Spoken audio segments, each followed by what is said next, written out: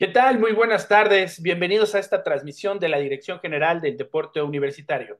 Mi nombre es Irán Yamil Meléndez y empezamos esta transmisión, como se dice en el emparrillado, con el kickoff inicial de esta serie que lleva por nombre Historias y anécdotas del fútbol americano en la UNAM. Hoy, para fortuna nuestra, es un gusto contar con la presencia en este programa de Augusto Ortiz. ¿Qué tal, Augusto? Muy buenas tardes, ¿cómo estás? Muy buenas tardes, afortunadamente bien, con el gusto de estar aquí con ustedes. Ok, pues vamos a hablar un poquito sobre tu carrera como jugador, como coach, pero algo muy importante, es la primera vez que vamos a hablar del equipo de Huracanes y bueno, afortunadamente tú nos vas a platicar todas esas historias y cómo iniciaron y cómo fue. Pero antes de empezar ya en esta tertulia, me gustaría dar una breve semblanza que amablemente Augusto nos ha enviado y él es actualmente abogado egresado de la Facultad de Derecho de nuestra máxima casa de estudios aquí en la UNAM. Empezó a jugar en juvenil en el equipo de Canarios de Prepa 1 en la posición de tackle ofensivo y guard defensivo en los años de 1971 y 1972. Sube a Liga Intermedia en 1973 con los buitres de la Facultad de Medicina. En esa época los equipos juveniles eran semilleros de las facultades, por lo que a él le correspondía jugar en la Facultad de Medicina y por lo tanto, bueno, se hizo de una gran cantidad de amigos muy importantes que posteriormente él mencionará, que al mismo tiempo también son grandes jugadores y grandes actores de estas historias del fútbol americano en la UNAM. Juega en 1973 y 1975 las intermedias en la posición de gar ofensivo. En 1975 sube a mayor con Guerreros Aztecas, teniendo la edad de 19 años, o sea, muy, muy joven, muy chavo ya y dándole duro en Liga Mayor. ¿eh? Sí, fíjate, lo que sucede es que cuando subía a, cuando empecé a jugar en 1971 en juvenil, todavía tenía la oportunidad por la, por la fecha de nacimiento de jugar otra juvenil, pero como ya el grupo de amigos, ya a todos les tocaba subir a, intermedia, subí con ellos, no obstante que tenía todavía edad para, para poder jugar una tercera juvenil. Entonces, por eso fue que ya subí con esa edad a Liga Mayor. Ok. Y bueno, en el último año eres capitán del equipo, pero dentro de tus cinco años de elegibilidad fuiste selección Puma, algo también muy, muy importante de, resaltar. En 1981 lo invitan a coachar con Huracanes de en aquel entonces Escuela Nacional de Estudios Profesionales Aragón. Y desde 1971 él empieza a jugar muy joven en las juveniles intermedias Liga Mayor, pero estuvo acompañado por dos grandes personas, dos grandes mentores, Eduardo Lozada Aguilera, quien junto con el doctor Antonio Maldonado Tapia fueron quien le, le llevaron desde muy joven a, la pasión y al amor y y a estos grandes fundamentos del fútbol americano. Fue entrenador de línea ofensiva en la etapa de coach en la ENEP Aragón de 1981 a 1984 y en esos años la gran oportunidad, tuvo la gran oportunidad de ir a Estados Unidos a estas clínicas de primavera que se les presentaba a los coaches para que ellos tuvieran un mayor conocimiento y poder adaptar esos sistemas como coach en nuestros equipos en la universidad. En ese entonces fue a Penn State y ahí tuvo la oportunidad de conocer a Joe Paterno, también conocido como Papa Joe, así le decían los, los, jugadores. Pero vamos a empezar, ya vimos una breve semblanza, ya más o menos estamos calentando motores y como comenté, tenemos la, para fortuna nuestra y es un gran, y es una gran, un gran gusto contar con la presencia de Augusto Ortiz. Y bueno, Augusto, pues ahora sí que los Gracias. son tuyos. ¿Cómo era la vida ¿Dónde vivías? ¿Cómo fue tu niñez? ¿Cómo llegaste a pisar el campo de fútbol americano? Empezando por ahí, Augusto. Bueno, yo eh, afortunadamente eh, todavía estaba en la secundaria en 1969. Eh, un primo mío, que era muy amigo de, de, muchos jugadores de fútbol americano de los Pumas, Felipe Sánchez, Leonardo Lino, el Gallo Vázquez, me, empezó a, llevar a los juegos. Mi primer contacto fue cuando termina un, un juego internacional de los Pumas de 1969. Mi primo que Chucho Juárez me dice, vente, vamos a ver a los, cómo salen los jugadores. Y me encuentro yo con un hombre, para ese entonces yo tenía 13 años de edad, y saliendo ya les habían quitado los jerseys a los jugadores que habían terminado sus cinco años de elegibilidad. Yo con un hombre, parece entonces yo tenía 13 años de edad. Sí, sí, sí. saliendo, ya les habían Sí, te escucho. Sí, y en ese entonces dije, bueno, nos lleva y yo veo salir a Julio Alvarado, ya sin el jersey, llorando, porque había terminado sus cinco años de elegibilidad, y digo, bueno, pues, ¿qué pasa, no? Porque este era una persona muy grande, y yo lo veía más grande aún y más fuerte aún, porque pues ese era, era este, con 13 años, pues era todo, ¿no? Entonces, eh, ahí fue donde me empezó a nacer la inquietud de decir cómo llegar al fútbol americano, ¿no? Ya en 1970, también mi, el, al año siguiente mi primo me siguió invitando y, empezamos a ver ahí a, a, sus amigos de ese entonces, que muchos eran los jugadores de, de Pumas, pero de Cóndores en ese entonces, ¿no? Santiago Caballero, Leonardo Lino, sobre todo Leonardo Lino, que era el quien, este, quien ayudaba mucho a mi a mi primo, lo, lo cobijaba y que inclusive llegaban a vivir juntos, ¿no? Ahí fue como empecé, entro a los 15 años de edad a la Escuela Nacional Preparatoria número uno y, como correspondía, pues empecé a jugar fútbol americano. Ahí mis coaches, pues eh, eran el doctor Antonio Maldonado Tapia, quien luego fue doctor y a la fecha sigue siendo un gran amigo. El, el coach era Eduardo Lozada Aguilera, quien pues eh, fue mi coach desde juvenil, y Agustín López Zavala y Norberto Ulibarri, que ellos dos al final del camino fueron mis compañeros en Liga Intermedia, y Agustín López Zavala fue mi compañero también en la selección Puma, afortunadamente. Entonces fue toda una, toda una secuencia de vida y de experiencia con, con ellos, ¿no? Con ellos cuatro sobre todo. Y aparte con grandes personalidades, ¿no? Este, jugadorazo, eh, el cara de hacha, como lo decían a, Lino, ¿no? Un, full ah, sí. eh, muy rápido, sobre todo. Muy fuerte, ¿no? Muy fuerte, ¿no? Muy fuerte, sí. Él, a él, fíjate que, eh, te digo, era muy, muy buen amigo de, este, de mi primo, y eh, junto con Antonio Paz López, ¿no? Que inclusive acaban siendo, este, compadres. Y bueno, eh, ellos fueron los que realmente luego ambos fueron mi coaches en Liga Mayor y, y, Leonardo Lino, mi coach en la selección Puma, ¿no? En 1976, que él estuvo ahí en, en la selección Puma, 76-77. Entonces tuve la oportunidad de, de convivir y, de ver a esos grandes jugadores. Eh, primero, ya como jugador de juvenil, pues ir, eh, ir a los estadios a ver, a verlos jugar, ¿no? y en ese, en ese tiempo, bueno, pues eran eh, grandes jugadores como mm, verlos como Santiago Caballero, Jaime Montes, que es el actual presidente de la Hermandad Puma, sí, los Gómez Maqueo, grandes jugadores que se tenían y posteriormente también en Guerreros Aztecas, ¿no? Que fue con los que empecé a jugar yo con como Jorge González, eh, como el mismo Jorge Huerta, grandes jugadores que también tenían los guerreros aztecas en ese momento. Oye, una pregunta ya que estás tocando así el tema de guerreros aztecas, un poquito antes de entrar, cómo llegaste al equipo, eh, ¿por qué no nos platicas dónde entrenaba la Prepa 1 en aquel entonces, los canarios? A ver, los canarios de Prepa 1, pues estábamos, la preparatoria número uno estaba en San Ildefonso, Sí. Tuve la fortuna de estudiar ahí en, en, en, la, escuela de, de San Ildefonso y teníamos que entrenar, teníamos que salir de la Escuela Nacional Preparatoria, tomar el camión para irnos a Ciudad Universitaria porque entrenábamos en el, en el, en el campo número 4 y cada en la temporada pues teníamos que tomar nuestro camión e irnos este, con una torta en, en el estómago irnos a entrenar a las 2 de la tarde en, en, en Ciudad Universitaria, ¿no? En el campo número 4. Por lo que también eh, desde juvenil, pues muchas veces nos cruzábamos con los jugadores de Liga Mayor. ¿Y ese trayecto aproximadamente cuánto tiempo hacían, eh? Pues 45 minutos, una hora.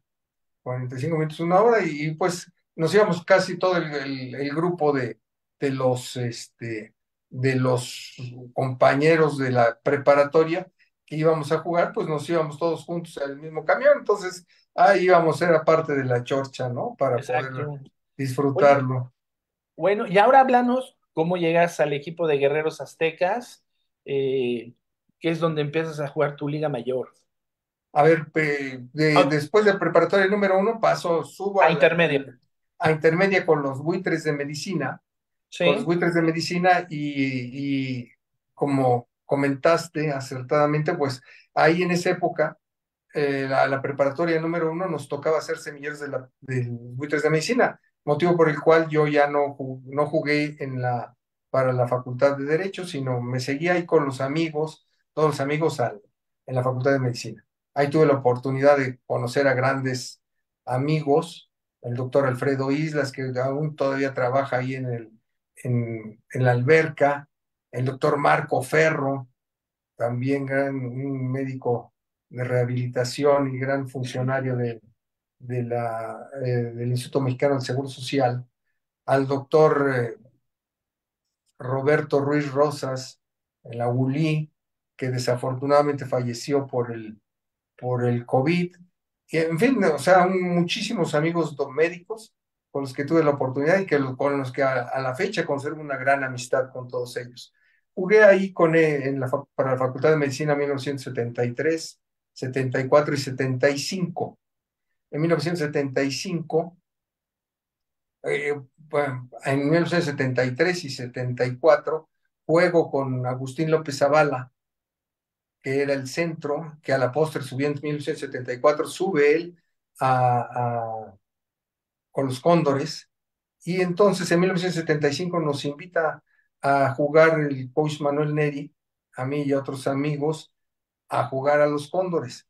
Sin embargo, por azares del destino, fuimos, nos fuimos de, después de terminar la temporada del 75, nos fuimos a, a Acapulco y uno de, de nuestros amigos, otro médico, el doctor Jaime Arciniega, gran amigo que desafortunadamente acaba de fallecer, nos dice, vamos a subir a los guerreros aztecas, suban a entrenar, denle oportunidad.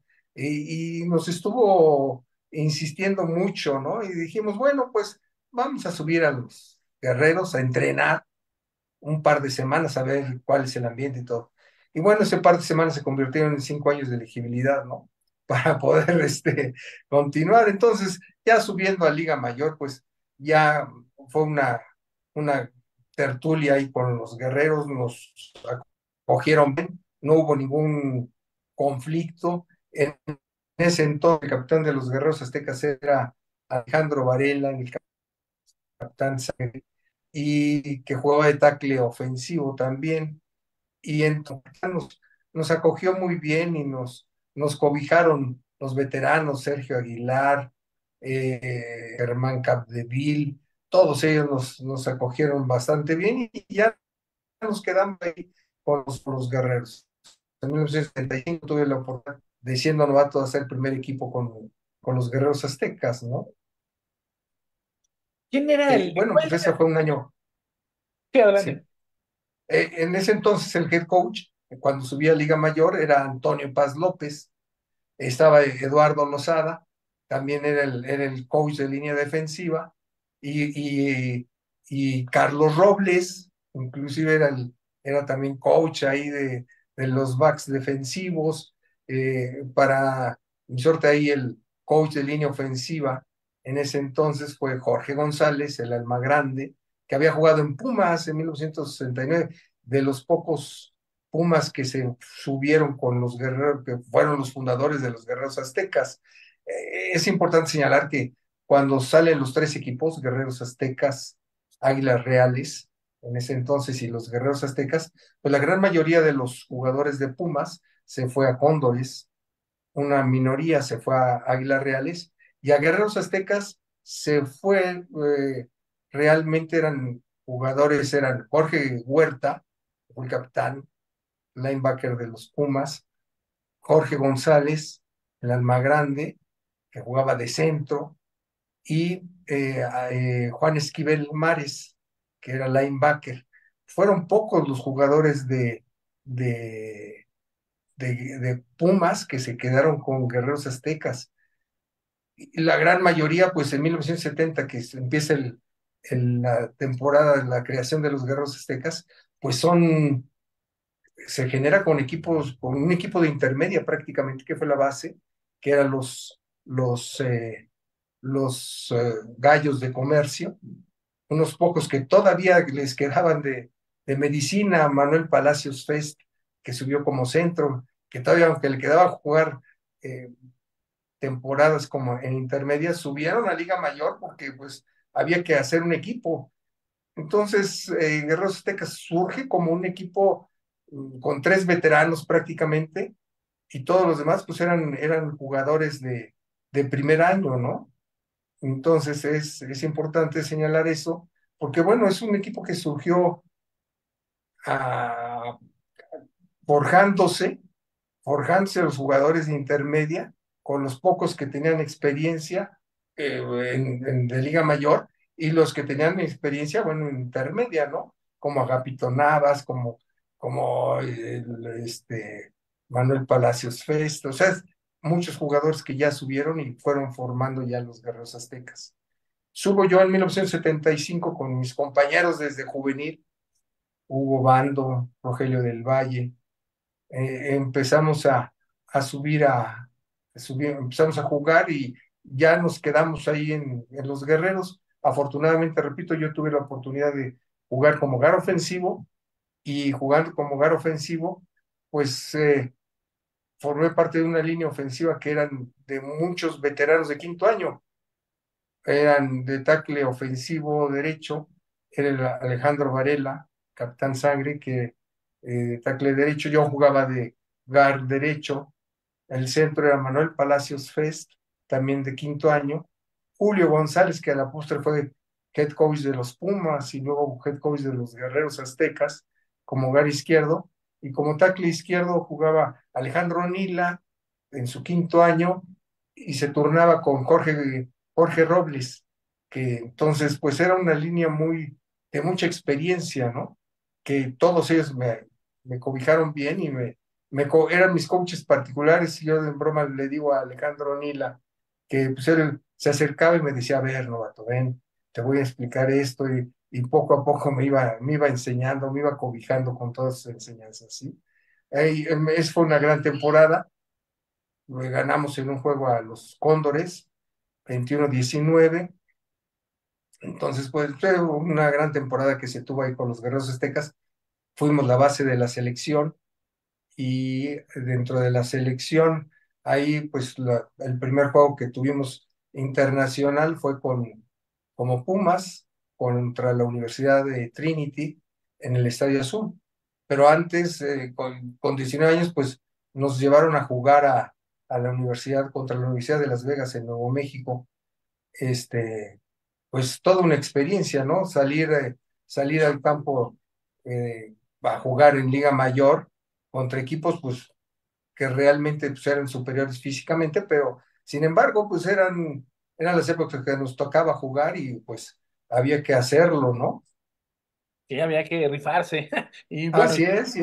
Sí, como, como comentas, 19 años, 1975 y hasta 1980 cuando termina tu elegibilidad. 1979. 79. Y, y entonces, ¿qué, ¿qué pasa cuando terminas tu elegibilidad ese en 1980? ¿Te quedas a cauchar un rato en Guerreros Aztecas? No, fíjate que no, porque ya en, mi época de Liga Mayor, yo ya estaba trabajando, trabajaba, estudiaba y me iba a entrenar. Empezaba mi jornada a las, tenía que entrar a clase a las 7 de la mañana. Eh, estudiaba de dos clases de 7 a 9, luego me iba a trabajar, eh, ya como pasante de abogado, luego ya eh, tenía que salir corriendo en para, a las, llegar a ciudad universitaria para entrenar a las, a las dos y media, entrenábamos de dos y media a cuatro y media, me iba a bañar, a comer, y luego me iba a clases de siete a nueve, o sea, tenía mi, mi agenda completa, ¿no? Ahora cuando hablan de, de, de la, los actuales este, jugadores, digo, bueno, pues a todos nos tocó eso, ¿no? Nos tocaba trabajar, estudiar y, este, y regresar a, a entrenar corriendo con el tiempo justo, ¿no? Para poderlo manejar. Entonces fue una época de mucho, de mucho esfuerzo, pero también de grandes satisfacciones. Muy, sí, lo dices correctamente. Esa época para los que nos tocó jugar, bueno, me tocó un poco después, este, sí, había que dividirse entre el estudio, correr, hacer, eh, venir y luego los trayectos a veces eran muy largos, ¿no? Así es, así es. Ahora, en 1981 te invitan a coachar a Huracanes de la Escuela Sí, Nacional de Estudios Profesionales Aragón. Platícanos un poquito de ese equipo. Mira, tenemos muy poco, muy poco, realmente no, no tenemos mucha, eh, muchas historias, pero ¿qué nos puedes comentar de ese equipo? ¿Cómo surge? ¿Cómo nace? ¿Por qué llegas ahí? ¿Quién te invita? ¿Por qué, le, por qué les llaman huracanes? a ver, en 1979 deja de ser coach Eduardo Lozada Aguilera de los Guerreros Aztecas, ¿Sí? porque lo invitan a formar el equipo en ese entonces eh, del ENEP Aragón. Él, como head coach, empieza a, a reclutar gente en el ENEP para que saliera la mayor de primavera, ¿sí? Pero empezó, fue un equipo que salió eh, pues de la, prácticamente de la nada, no tenía ningún semillero. Él empieza a manejar eh, los equipos de preparatoria número 3, que empieza a ser eh, como semillero, y, y a sacar los, los, los chitas que eran en principio, era el mote que le pusieron en mayor primavera. En 1980 le, le forman, lo, lo integran, le ponen el mote ya de huracanes. ¿Y por qué? Porque el ENEP Aragón terminaba la Ciudad de México. Entonces, atrás de la, Escuela Nacional Preparatoria, había, pues, eran salitrosos, terrenos salitrosos de todo el Texcoco, Ciudad de Nezahualcóyotl, ahí terminaba. Y entonces ahí los muchachos iban a correr y decían que se iban a correr al desierto, porque eran puro salitre y puro polvo. Entonces, como ahí terminaba, eh, se, hacían remolinos de aire en Liga Mayor se hacían los remolinos de aire, levantaba toda la tierra que estaba al, final y por eso fue que le surgió el mote de los huracanes, por todas las tolvaneras que se armaban ahí tremendas, ¿no? Eso fue el, el, el, por, qué, el por qué surgió con, con el nombre de huracanes. Sí, es una muy buena historia y tienes razón, esa parte donde en áreas eh, muy planas y áridas y como dices, con mucho salitre, mucha arena, se forman, llegan a formar estos remolinos, ¿no? Así es, así Es ahí es. donde entrenaban. Es ahí donde se entrenaba. Ahora, eh, a mí me, en, en, en 1980, me, en 81, me invita a que, a que me integre al staff de coacheo eh, Jorge Morán, el doctor Jorge Morán, un gran psiquiatra, que también había jugado en Guerreros Aztecas, también fue mi veterano en Guerreros Aztecas, y en Pumas, me nos invita por instancia de, de, Eduardo Lozada, que era el head coach, entonces me invitan a integrarme como, como parte del staff en 1981, ya para poder integrarlo, ¿no? El equipo originalmente se, se formó con exjugadores que habían jugado su juvenil o intermedia bajo las órdenes de Eduardo Lozada, y muchos jugadores que con cero experiencia, ¿no? Algunos con uno, dos, tres, tres años y ya subiendo a Liga Mayor, pero bueno, así, así se formó los huracanes con, con jugadores realmente de poca experiencia o, y muchos con, llegaban con, sin ninguna experiencia, ¿no? Pero lograron a, este, salir y, y ser muy buenos jugadores, ¿no? Yo en lo personal tuve la oportunidad de coachar a, a jugadores que luego en Liga Mayor ya con en la mayor ya en Liga Mayor lograron ser eh, seleccionados Pumas también, ¿no? Afortunadamente tuve la oportunidad de poderlo manejar, de ser su coach en, ese manejo como Gustavo Cruz, eh, José Luis Noches, que lograron llegar a la selección Puma. Entonces, Efraín, eh, que jugaba en su momento de receptor, que también llegó a ser seleccionado Puma, eh, un magnífico jugador que luego desafortunadamente, digo desafortunadamente para los Pumas y para los Huracanes, se fue a jugar a las Águilas Blancas y llegó a ser seleccionado nacional como gar medio con las Águilas Blancas, ¿no? Manuel Ortiz Langurain, un gran jugador y que bajo ese contexto, pues llegó a ser seleccionado no solo del Politécnico, sino también llegó a ser seleccionado nacional. Bueno, pues son, las son las historias. Ahora, como anécdota eh, personal, yo creo que eh, la labor que realizó Eduardo Lozada Aguilera, pues Lalo, ahí en los huracanes fue tremendo, ¿no? Porque él, en sus principios, en sus orígenes, pues era un campo totalmente árido, sin ninguna posibilidad. El director nos le dio ahí un, un lugar para que empezara a entrenar un, un prado, prácticamente, y el Coach Lozada con, con mucha dedicación empezó desde formar, hacer el, medir el campo, hacer el campo, sembrar el campo en compañía de los jugadores, porque no había otra forma, ¿no? Entonces, todos los jugadores de, de las primeras generaciones de los huracanes, pues sudaban no solo el entrenamiento, sino para hacer el campo.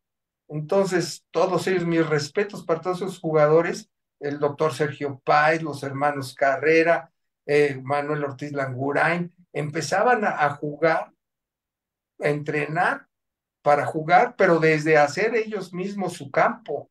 Entonces, una gran labor que se hizo ahí para poder realizar ese, ese equipo, ¿no? No, está muy interesante, sobre todo motivador y, y, esta parte donde decías que ellos tenían que trazar, eh, no solamente trazar, cuidarlo y luego entrenar, me imagino, en un costado, pero difícil labor, ¿no? Eh, y muy... Muy difícil, muy difícil labor, pero, pero sobre todo yo creo que eh, el espíritu de Eduardo Lozada, o sea, la, el espíritu de lucha de Eduardo Lozada fue lo que logró sacar el equipo, porque a lo mejor, probablemente a lo mejor otros, otras personas se hubieran dado por derrotadas, ¿no? De decir, no, pues no puedo sacar el equipo por, porque no tengo lugar donde entrenar y no, él, él dijo, se puso el, el overall y dijo, bueno, pues vamos a hacer el, el campo y conseguir desde quien le daba el, patrocinio para regalarles campo, este pasto, eh, ponerle el tepetate, a mí me tocó empezar todavía ya cuando estaban para formar el, el campo, ponerle el tepetate primero, luego la tierra y luego el pasto, y luego llegaba el coach Lozada, llegaba muy temprano para empezar a regar el campo para que pegara el pasto.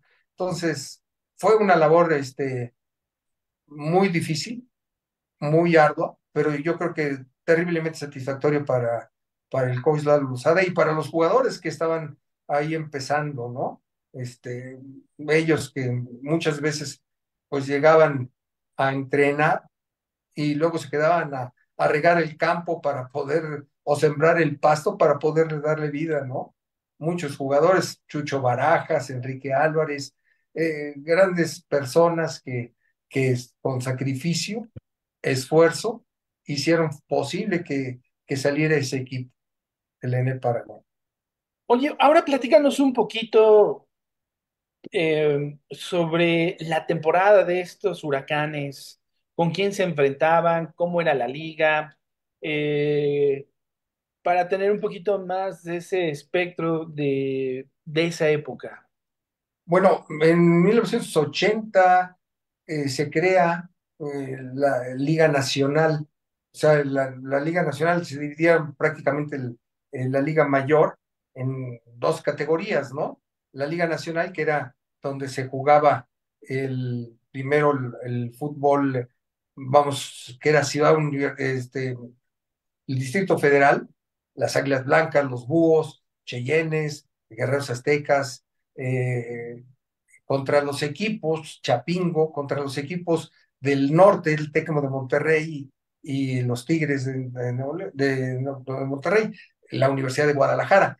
Al, en este momento, los huracanes empiezan empezamos a jugar contra equipos que de, de, reciente fundación también, ¿no? Empezamos a jugar contra los, los entonces, ahora con los extintos osos de la ENEP, eh, Acatlán, que era el otro equipo, contra Upixa, contra los eh, Chapingo, contra eh, los eh, Saltillo, contra equipos que eran de, de provincia y que empezaban a jugar entonces se formó ese, ese esa conferencia para poderlo manejar, ¿sí?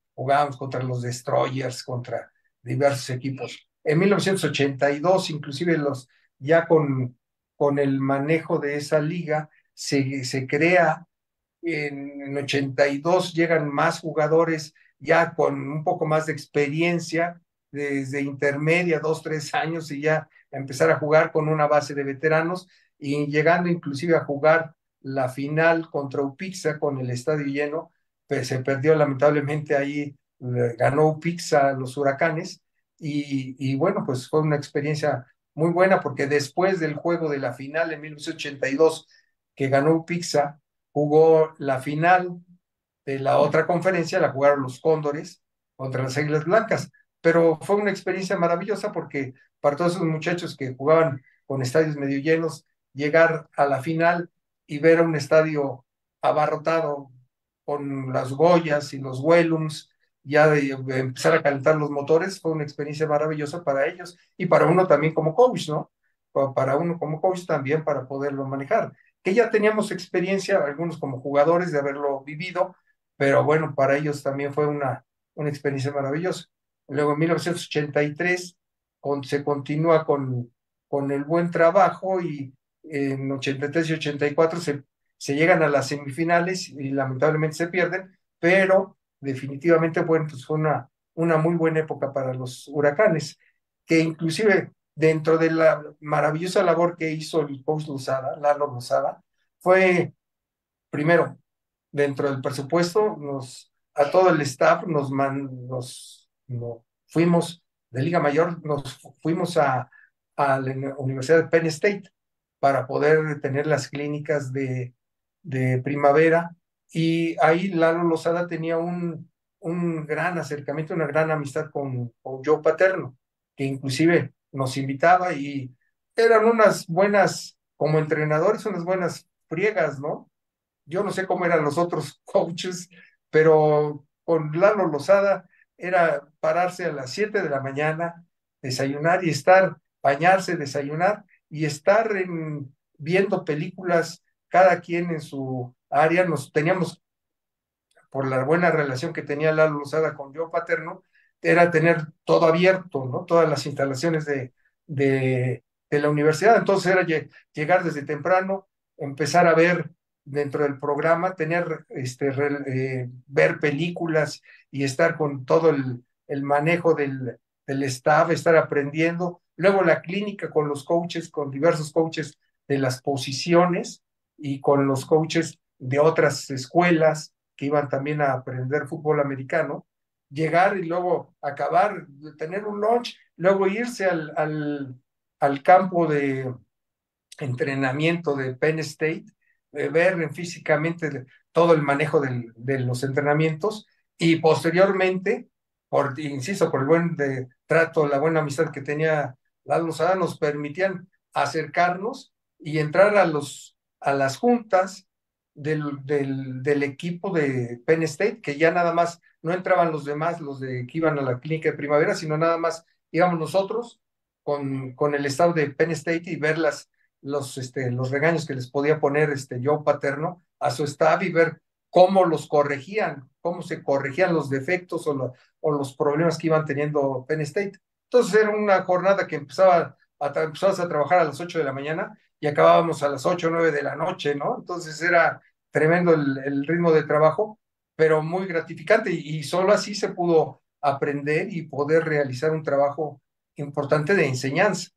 Aquí en México luego nos obligaba, este, nos obligaba, pues era parte del trabajo, ¿no? Como entrenador, eh, el coach Lozada organizaba sus clínicas, sus, sus clínicas para que nosotros diéramos la clínica de los diversos drills y de, de las técnicas que había que desarrollar, nos ponía a que le enseñáramos a los jugadores de Liga Mayor, que eran los coaches de, para intermedia, que eran los coaches para las infantiles, porque no obstante, el, el, dentro del esquema de trabajo que, que hizo, el gran trabajo que hizo Eduardo Lozada con los huracanes, eran empezar a, a enseñar no solo a nosotros como coaches de Liga Mayor, sino a los coaches de intermedia, a los coaches de, de, Liga Mayor, que eran los coaches de infantil, para poder generarlo, ¿no? Entonces era enseñar nuestra parte de trabajo, no solo era ser coach, sino también era ser, enseñar a ser coach a los diversos, este, a los diversos jugadores que también iban a, a hacer el trabajo ahí en, en este, con las infantiles y los juveniles y las intermedias. Yo pienso que fue un, un, un gran trabajo que realizó Eduardo Lozada de enseñanza y de gran productividad. Cabe decir que pues era un área deprimida porque muchos jugadores eran de la zona de Aragón, de Ciudad de Nezahualcóyotl, y algunos jugadores de que en una liga mayor iban a, decían, ¿por qué vienes a jugar? Pues yo vengo a jugar porque me dan, me dan comida, ¿no? Entonces era toda una labor social, yo creo, la que se realizó ahí en esa zona, que ahorita ya, bueno, pues ya es totalmente distinta porque ya son otros escenarios, ya es otro manejo que se le da, pero fue una gran labor la que realizó Eduardo González ahí con los huracanes del ENEP Aragón. No, una gran historia, la verdad, y pues tenemos muy poca información, pero precisamente estamos haciendo estos, estos programas porque es importante rescatar eh, eh, estos testimonios, es importante poner el marco histórico, porque lo tenemos que hacer, es una obligación de nosotros, a los que nos apasiona el fútbol americano, pues hacer estas historias, estas anécdotas, para que ahí queden y tengamos esta memoria y no se pierda. Y la verdad, una pregunta, ahorita ya entrando, ¿cuánto tiempo duró el equipo de Huracanes? ¿Desde 1979 hasta qué fecha?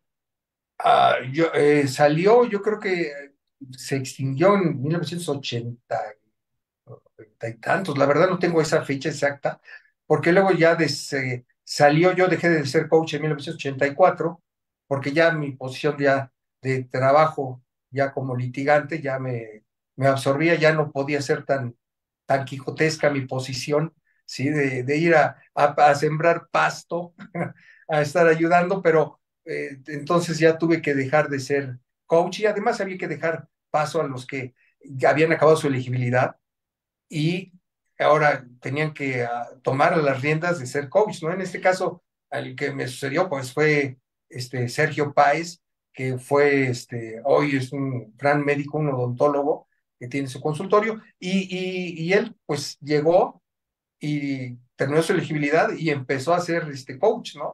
Entonces también había que ser permeable en ese sentido para poder manejar que otras generaciones eh, eh, vinieran y llenaran los huecos para estar. A la fecha, a la fecha todavía existe el equipo de huracanes, el ENEP Aragón, que lo, pues ya lo maneja aparte de la, del, de la, de la institución, de la ENEP, la escuela, superior, el, un patronato que encabeza el licenciado Francisco Castañeda, que también está realizando una gran labor ahí con los, con los muchachos para que no se extinga. A la fecha sigue estando la ENEP Aragón presente en el fútbol, no a nivel como se quisiera, porque ya no Liga Mayor, porque ya nada más pues, hay dos equipos, nada más de, en, pero todavía a la fecha sigue existiendo el equipo de fútbol americano del ENEP Aragón, bajo el patrocinio y la, la ayuda ahí del Liceo Francisco Castañeda y de las autoridades del ENEP. No, pues tenemos eh, ahí que ir rascando poco a poco para saber más de este equipo y seguramente sí. tenemos otra tertulia. Y bueno, ya poco a poco se está acabando el tiempo, eh, estimado Augusto, pero quiero eh, leerte un poquito sobre los mensajes.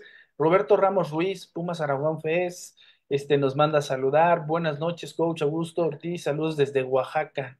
Gran coreback. Ah, coreback. Este, Rolando Carrera Guerrero, saludos, mi coach. Un sí, gran profesionista. Y Sergio Aarón también nos manda un... Aarón este, Cárdenas, sí, un Roberto, gran fullback. Roberto Soriano también eh, nos manda a saludar, dice que dice las clínicas de, de la Kafka, pero yo, eh, como esas, que iba a Alabama, Ohio, Miami, Texas. También este decía Eddie Lozada era un amiguísimo de Joe Paterno. Así es. Eh, Roberto Ramírez, qué buenas anécdotas, historias de una UNAM actualmente. Y bueno, también se suman a, a este es el eh, Puma CBU Fans Base, eh. Gerardo Ramos, Aurelio Miranda, Morales Flores César, Javier Medina, Clarita Salas, Basti Muñoz, René Adame, Miguel Pedro Bustamante, Ezequiel, CH Yavilson, Raúl Suárez, América Flores, y bueno, también este eh, también está por acá Francisco Cano, Ana María Barrientos, Morales Flores César, Aimé Sevilla, Clarita Salas, Progués, a todos ellos, Viri Pineda, este Fox Marce, Maribel García, Roló, Francisco Borja, Luis Ramírez, Paco Cano. eh, agradecerles, pues aquí tenemos ya este, bastante público Qué y, bueno. y la verdad, este eh, agradecerles que estén siempre aquí compartiendo con nosotros estas tertulias. Vamos a presentar un poquito de, de, de lo que nos mandaste para que nos platiques, pues, estas fotografías y, y nos narres un poquito qué sucedía, qué época era, eh, y el público, pues, tenga ese contacto con ese, ese ambiente, ¿no? Y bueno, voy a compartir Claro sí. pantalla. Vamos a ver. ¿Ya se ve? Ya se ve. Perfecto. Bueno, a ver, ¿por qué no, no nos narras qué está pasando aquí? Es, es un juego que debe de ser 1978-77 contra las Águilas Reales, contra las Águilas Reales que llevan el jersey blanco y eh, los Guerreros Aztecas con el jersey rojo, ¿no? Oscuro que se ve. Ahí está Eric Suárez, está Camilo Pérez. Ahí estoy, adelante de Camilo Pérez, estoy saliendo de trampa, bloqueando, por eso la tengo, para poderlo manejar. Es, debe ser 78 probablemente, Ok, 1978. vamos a la siguiente. Aquí que estamos viendo. Es eh, el día de prensa de los guerreros aztecas, que es de 1976, que estoy Rogelio del Valle, está su servidor, eh, Camilo Pérez y Alfredo Castellanos, que es un gran catedrático en la Universidad de Chiapas, en, en veterinaria, un gran veterinario ya, se dedicó a la docencia ya en, en su tierra, Chiapas. Ok, aquí. Es el día de prensa de 1979 de 1979, ahí estoy con el 62. Ya en, en ese 1979 hubieron muchos jugadores jóvenes también, muy jóvenes, que fueron luego grandes jugadores de Guerreros y en Pumas, ahí está eh, Víctor Hugo, el Bubú, ¿sí? Están eh, el Conde Ariza, Lazzarini, Ovalle, es el día de prensa de 1979.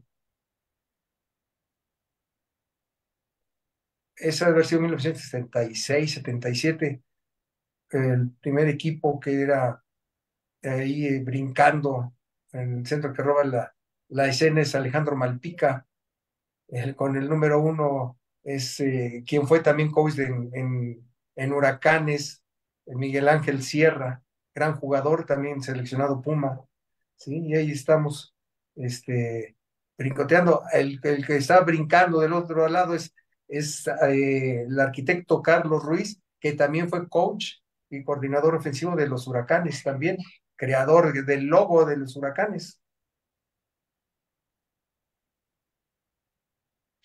Esta fotografía es de la selección Puma, 1976, eh, día de prensa, días antes. Grandes amigos a los que todavía, con los que todavía comparto grandes momentos a la fecha, ¿no? Como el doctor Miguel Ángel Uresti, ¿sí? Eh, son grandes amigos todavía. Es, debe ser 1977 o 78, eh, 77 porque es el, estoy con el 64 en la selección. Agustín López Zavala, que insisto fue, fue mi coach en juvenil, mi compañero en intermedia y luego compañeros en la selección Puma. Y el 71, el doctor Rafael Lira que hoy es un gran catedrático y funcionario de la universidad, cuando él fue novato para que se acuerde todavía que, él como novato también se tuvo que pintar de güero. Y en la otra fotografía es Agustín López Zavala como coach, que es el que aparece sin, no, no está equipado, y este servidor con el número 71, esos son los buitres de medicina, mi hermano con el número 69, en fin, es de 1975, yo creo, esa fotografía de los buitres de medicina. Es otra de ahí del, de la selección, de la selección Puma. Eh, yo aparezco el 64 y arriba, arriba de mí está un gran amigo actualmente, eh, el, licenciado Carlos Pérez, que fue mi coach en la selección, un gran, una gran persona. Y los demás seleccionados ahí de, en Pumas. Esta fue, debe de ser en 1974, que fuimos a jugar los buitres de medicina, fuimos a jugar a Saltillo. son, hay varios amigos, que, grandes amigos de, de esa época. Es en esa misma gira y contra los que fuimos a jugar contra Saltillo, 1974, con los buitres de medicina.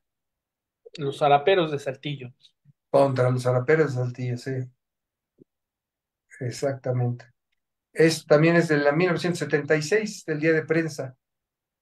Aparecemos ahí 62, con el 62. El 64, mi compadre Hugo Bando, Rogelio del Valle, Camilo Pérez, eh, Edgar, este, César David García con el 43 y el 92, Alfredo Castellanos, insisto, es un gran catedrático de la Universidad de Chiapas.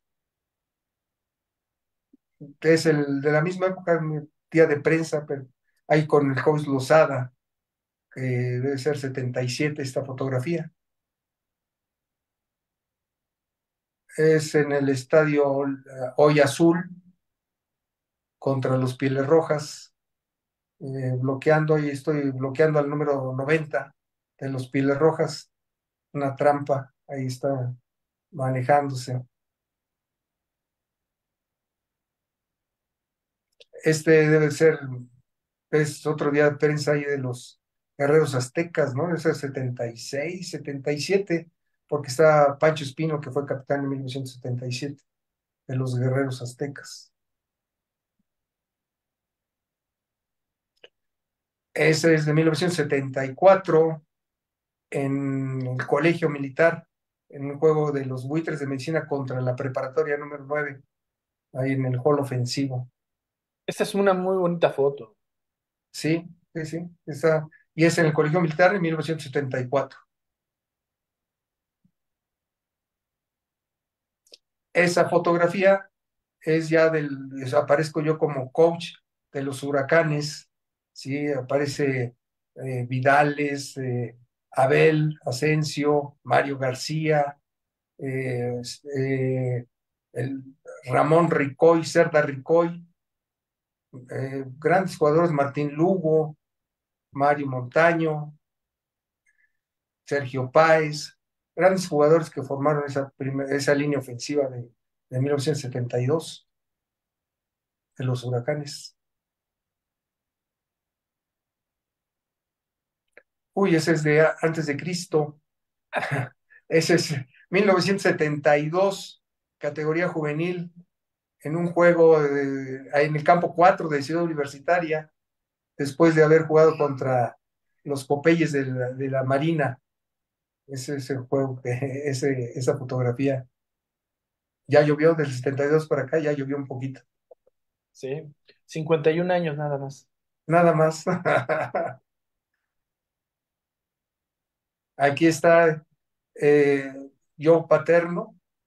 Atrás de Joe Paterno está Carlos Ruiz, que es eh, el arquitecto Carlos Ruiz, que era el coordinador. Yo estoy a su lado derecho de Carlos Ruiz. Eh, el coach Eduardo Lozada y el doctor Jorge Morán. Va a ser 81, 82 en Penn State. Otra fotografía de, de los huracanes, del día de prensa de los huracanes debe ser 82, 83. Aparte tenían unos colores muy bonitos, ¿no? Muy similares a la Universidad de Miami. De ahí salió, los colores son de la Universidad de, Miami, aunque tenían el azul y blanco del Penn State, pero bueno, por los huracanes con el nombre, fue los, los colores fueron de, de la Universidad de Miami. La verdad es que hay muchas fotografías que que nos enviaste, la verdad es que muy buenas, o sea, tenemos para aventar y recordar bastante. Yo creo que podríamos hacer otro programa sin duda, con todas las fotografías y con toda esa historia que, que tú tienes. Y bueno, nos vamos acercando al final de nuestro programa. Se fue como agua, ya llevamos 52 minutos, no sé en qué momento, pero ya llevamos 52 minutos.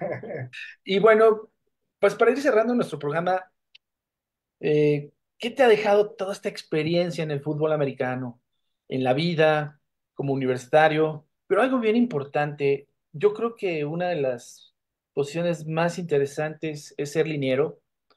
Eh, Muy poca gente se da la vuelta para ver lo importante que es la línea ofensiva, pero tú fuiste coach de linieros. Entonces, eh, es algo muy significativo esa parte. Pues sí, mira, a mí lo personal, eh, totalmente agradecido con la universidad. ¿Por qué? Porque a mí me dio deporte, me dio educación, me dio viajes y en Liga Mayor hasta me dio de comer, ¿no? Entonces, y luego me, me enseñó a ser coach, pues, mandándome a las clínicas a Estados Unidos. Entonces, eh, definitivamente fue una, una una experiencia. El fútbol americano en mi vida es formativo porque tienes que ser disciplinado, tienes que aprender a, a, sacrificarte por el equipo. A lo mejor mucha gente dice, bueno, pues es que no fueron campeones, pero yo creo que esa parte de formación, de tener la posibilidad de trabajar en equipo, esa es una gran enseñanza que te da. Y luego poderlo vertir hacia, hacia los muchachos, que luego ya fueron también coaches, también una gran experiencia, ¿no? Para poderlo manejar. Tan es así que, bueno, eh, luego fui catedrático de, de la UNAM también, en, ya en, como derecho, en derecho, y luego de la Universidad de las Américas, Campus Ciudad de, este, de la Ciudad de México, también impartiendo clases de, de derecho. Entonces, una gran enseñanza. Para el fútbol americano fue una, una gran enseñanza de formación, de disciplina y de trabajo en equipo. Pues no queda más que otra que agradecerte eh, el que estés aquí, el que nos hayas platicado todas estas experiencias. Hay mucho todavía eh, que tú podrías aportarnos dentro de, de, esta historia y de esta formación. Y bueno, pues para fortuna nuestra te tuvimos aquí para platicar. La verdad es que estamos muy agradecidos y ha sido un honor tener esta charla y platicar de este equipo, de tu trayectoria en en Guerreros Aztecas, de cómo empezaste en, en, los Canarios en Prepa 1, cómo fue en Buitres tu, tu andar. Eh, la verdad, una historia muy completa, pero que también nos dejan muchas dudas y seguramente tendremos otro programa para seguir platicando sobre lo que ha sido tu trayectoria, pero lo más importante también que nos aportes todo este badaje de conocimiento y de historias alrededor del fútbol americano en la UNAM.